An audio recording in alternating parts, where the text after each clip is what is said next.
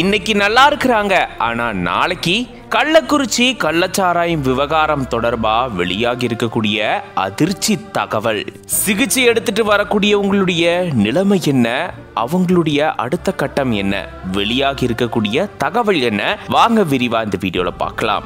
கள்ளக்குறிச்சி கருணாபுரம் பகுதியில் கள்ளச்சாராயம் அருந்தின நூற்றுக்கும் மேற்பட்டோர் உடல்நிலை பாதிக்கப்பட்டு பல்வேறு மருத்துவமனைகளில் அனுமதிக்கப்பட்டிருந்த நிலையில இதுவரைக்கும் முப்பத்தி ஆறு பேர் உயிரிழந்திருக்கிறதா தகவல் வெளியாகிருக்கு இன்னைக்கு சாதாரணமாக நார்மலாக இருக்கக்கூடியவங்க நாளைக்கு எப்படி வேணாலும் மாறலாம் அப்படின்ற மாதிரியும் சொல்லப்படுது. இந்த கள்ளச்சாராயத்தில் வழக்கமாக கலக்கக்கூடிய ரசாயனத்துக்கு பதிலாக வேறொரு மாற்று ரசாயனத்தை கலந்ததால இது விஷ கள்ளச்சாராயமாக மாற மாறினதா கூறப்படுது.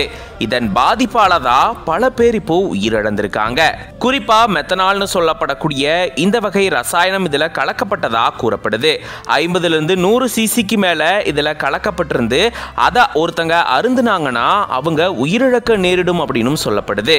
இந்த நிலையில தான் மீதம் இருக்கக்கூடிய சிகிச்சை எடுத்துட்டு வரக்கூடிய நபர்கள் இப்போ நல்லா இருந்தாலும் இன்னும் ரெண்டு தினங்கள் கழிச்சு என்ன வேணாலும் ஆகலாம் அப்படின்ற மாதிரி மருத்துவமனை தரப்புல இருந்து தகவல்கள் வளம் வந்துகிட்டு இருக்கு ஒருவேளை உயிர் பிழைச்சாலும் ஒரு சிலருக்கு கண்கள் பாதிப்பு அடையலாம் ஒரு சிலருக்கு கிட்னியில பாதிப்பு ஏற்படலாம் அப்படின்ற மாதிரியும் தகவல் வெளியாகி இருக்கு எழுபத்தி ரெண்டு மணி நேரத்திலிருந்து தொண்ணூத்தி ஆறு மணி நேரம் வரைக்கும் எந்த ஒரு பாதிப்பும் ஏற்படாம இருக்கணும். அப்படின்னா தான் அவங்க பூரண குணமடையுவாங்க அப்படின்ற மாதிரியும் சொல்லப்படுது.